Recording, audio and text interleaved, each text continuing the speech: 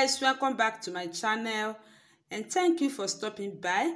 On this video today i'm going to be showing you how to cut and sew this beautiful dress you are looking at this keo dress.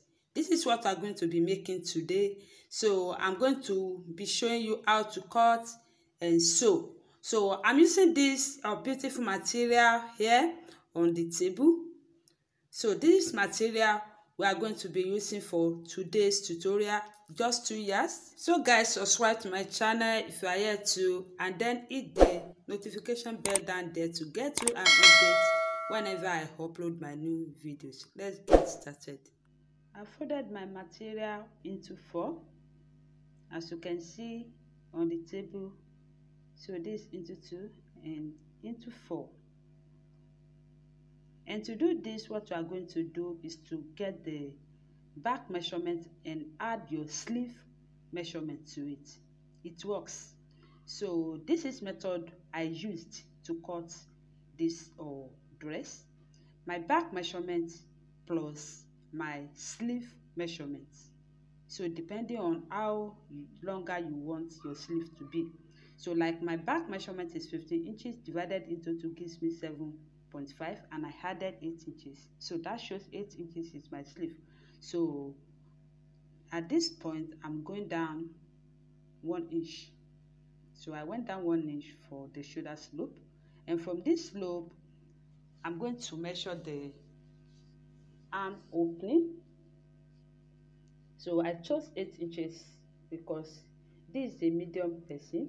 So I chose 8 inches for her and from the shoulder slope again I'm going to take the measurement of my half length. So this is uh, 15.5 so 15.5 is a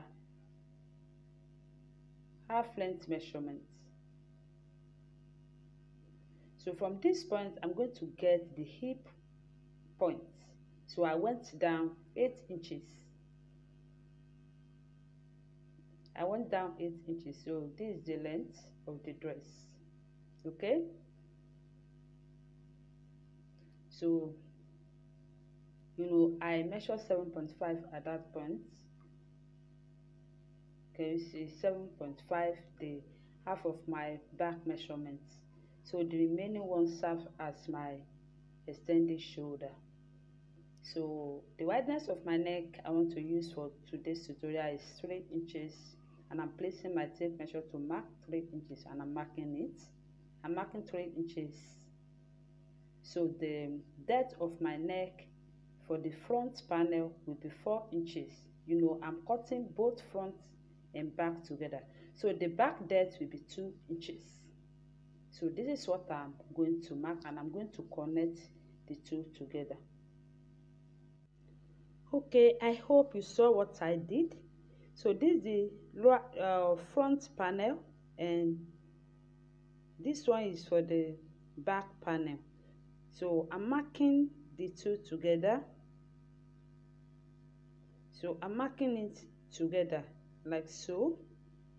Okay so i'm placing the quarter of my waist measurement hip measurement and my bust measurement so before then i want to connect and i'm placing my ruler to mark it to the other side.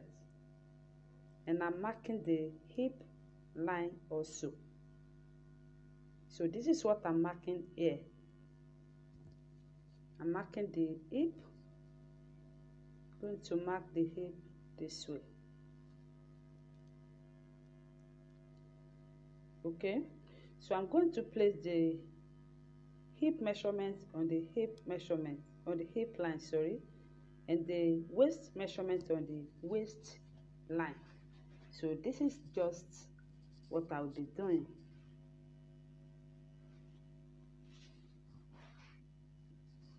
Okay? So this is my hip on line and this is the full length. So I added 0.5 to it for the allowance. Just 0.5 like so. Okay i'm going to place the quarter of my bust measurement right here. So i have 33 inches for the bust measurement 29 inches for the waist measurement and 37 inches for the hip measurement. So i will go ahead and place the quarter of measurement like so. So this is my bust line. So i have 8.25 8 one quarter. So i've marked it. So this style we are sewing is not going to have zip. So i'm adding two inches for the hips and one inch for sewing allowance making three inches. So there is no zip for this or uh, style we are making. So I added 2 inches for his and 1 inch for sewing allowance and I'm going to do the same thing at the waist area. So uh, 29 inches is the um, waist measurement. So I'm going to place the quarter of 29 inches and add 2 inches for his and 1 inch for the sewing allowance. So what I did at the bust line on the bust line and at the waist line, i'm going to extend it to the hip line. So 9.25 is the quarter of my hip plus 2 inches is and 1 inch for the sewing allowance i hope you saw what i marked.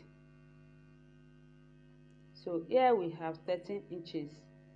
At the waist waist area we have 13 inches.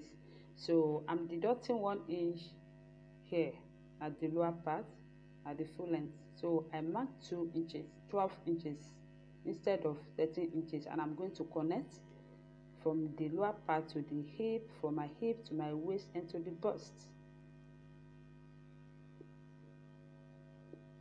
so this is what i'm going to do you know this is our waist line so I have 7.5 for the waist measurement and I added 2 inches for his plus 1 inch sewing allowance. So that's our measurement. So for this tutorial, so we are going to start making the hole on that point. So from this line, you know, I want to make use of 3 inches for the hole. You can choose two inches depending on how you want your hole to be. So three these three inches i'm going to divide it into two. I'm dividing these three inches into two. So i'm going down 1.5 and i'm marking it.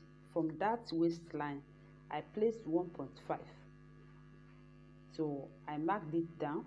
So i'm going up 1.5 you know i told you i want to use three inches. So divided into two gives me 1.5 so that shows i will be having 1.5 at the lower part and 1.5 at the upper part of my waist.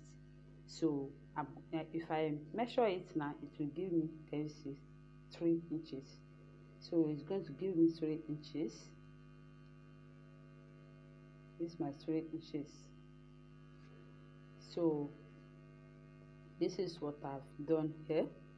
So what next I'm going to do is to is to just uh, connect the lines together.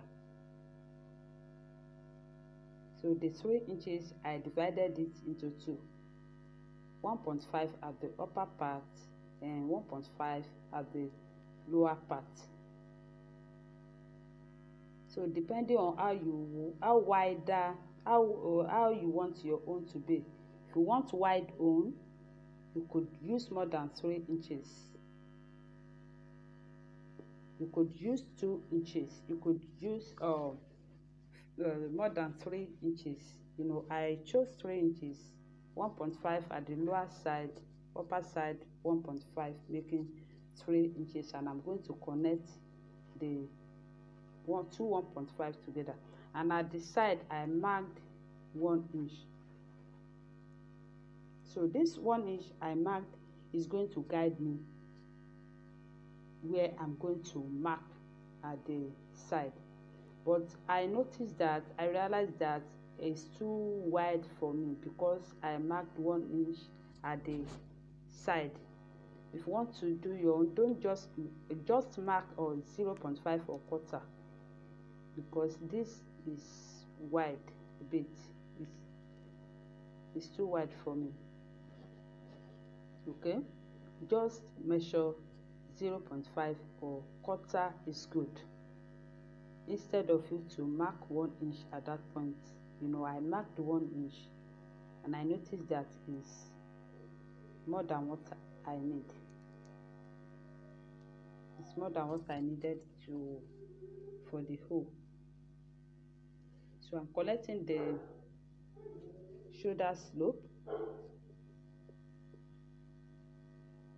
So this is the arm opening. You know i measure eight inches down for the arm opening. Okay? So what i'm going to do now is to connect the dots together the side seam together.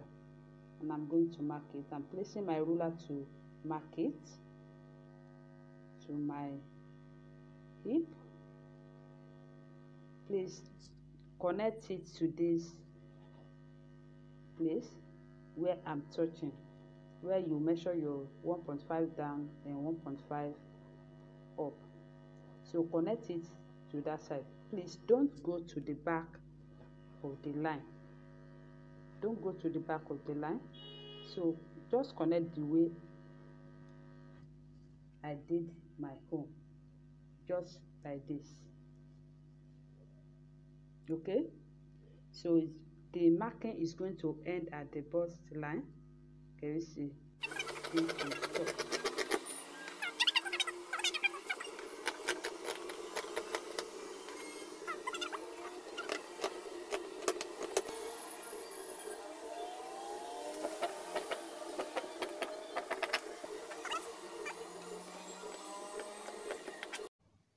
all right there i'm cutting the hole so this is what i'm doing here.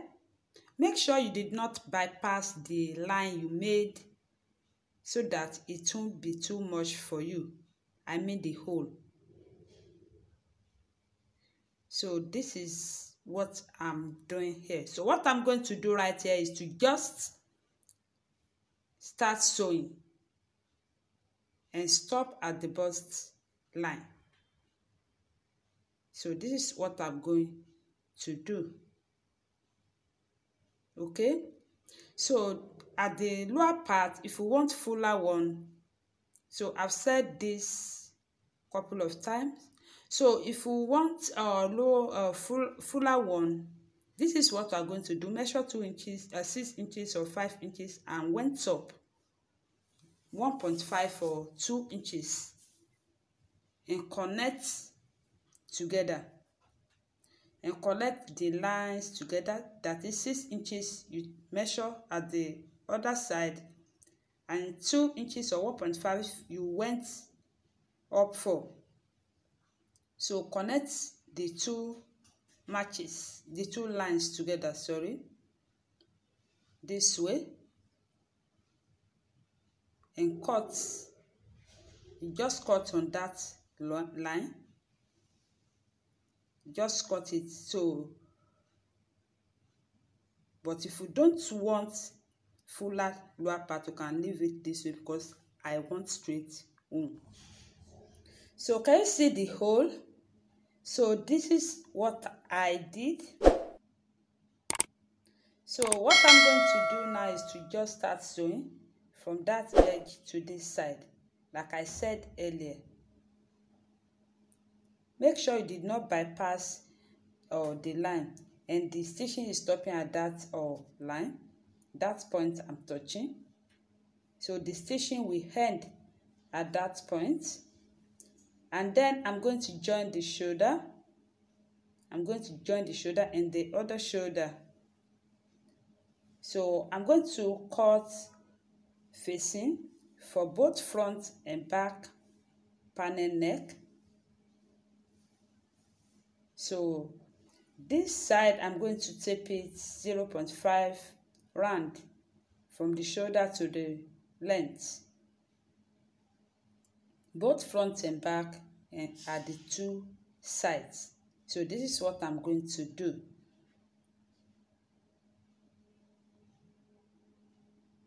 Okay?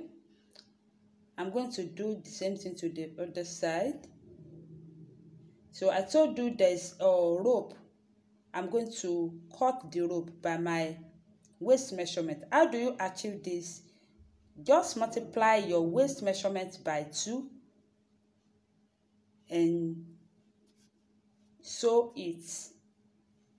Multiply your waist measurement like the waist measurement i'm working with uh, for this tutorial is 29 inches so 29 in two places so this is what i use to cut the rope. Okay? So i'm going to join to that point and the neck also. So this is what i'm going to do. This is joining section right here. So i use my pin to hold the hole down so that it doesn't shift. I use my pin to hold it down. So whenever you want to sew your hole make sure you hold it down with your pin and do the same thing to the other side. You know we have two holes. So what you have done at that point make sure you do it here at the other side. So this is my shoulder line so i'm going to join the shoulder this way. So this is what i want to do. I'm joining the shoulder. Okay as i've joined the shoulder right here so I will remove the pin from the both sides so this is what I'm doing here. I'm removing the pin the pin I used to hold it down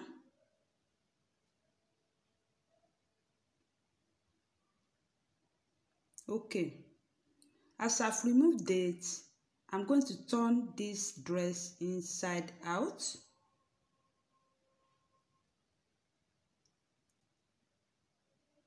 So I've turned it inside out and I will make sure the two O the two O's matches each other.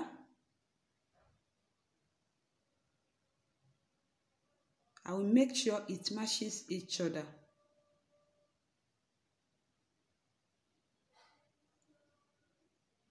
I hope you saw it. Then I will use my pin to hold it down again and again.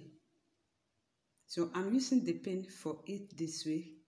So can you see? So you are going to pipe at that side like i said before. So just watch the way i did it so just do it this way and sew. And do the same thing to the other side. So this is the right side. So we are going to take our measurement from the right side because we are sewing on the right part and not on the wrong side of the dress. So this is what i'm going to be doing. I will mark my bust measurement waist measurement hip measurement and the length so we're almost through. That's just it. Okay i've marked it. So this is my your bust line my waistline the hip line and the length of this dress. Okay? So having done this i'm placing the quarter of my measurement the bust measurement waist measurement hip measurement so The remaining allowance, I'm going to share it to the both sides. So this is what I'm doing. I've done it and I'm connecting the lines together. I hope you saw what I'm doing. so I'm connecting together. So the stitching is going to end at that point. The hem opening. Okay? Don't go beyond the line. So I told you there is rope. We are going to use rope for this dress. So we are attaching the rope as well. Okay? So we are going to machine now and start sewing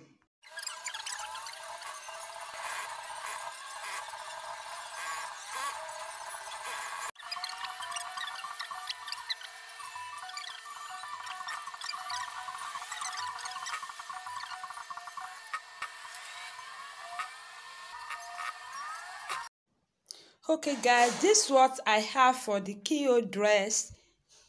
It's very very lovely. Can you see the two O's at the sides?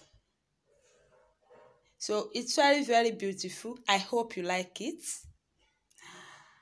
This is very very lovely. So i'm short of fabric so i could not cut the facing. So i used the remaining material to pipe the neck both front and back and this is the back panel and the hole. Oh my god. This is beautiful.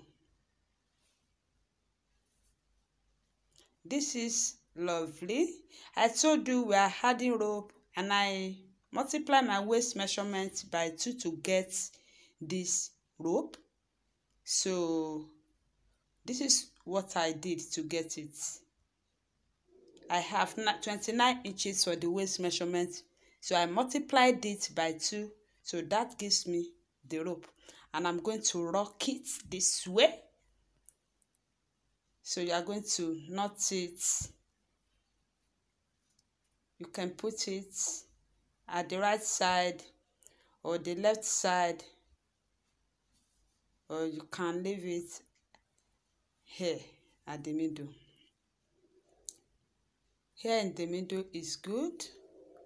The right side, the left side. You can rock it the way you want it. The choice is yours. You can knot it this way. The choice is yours. If are yet to subscribe to this channel, please subscribe to my channel. Share my videos with your family and friends. Tell them to like this video and subscribe to my channel. And don't forget to hit the red button down there to get you an update as I will be uploading my new videos. And I will see you on my next tutorial. I love you all. Bye.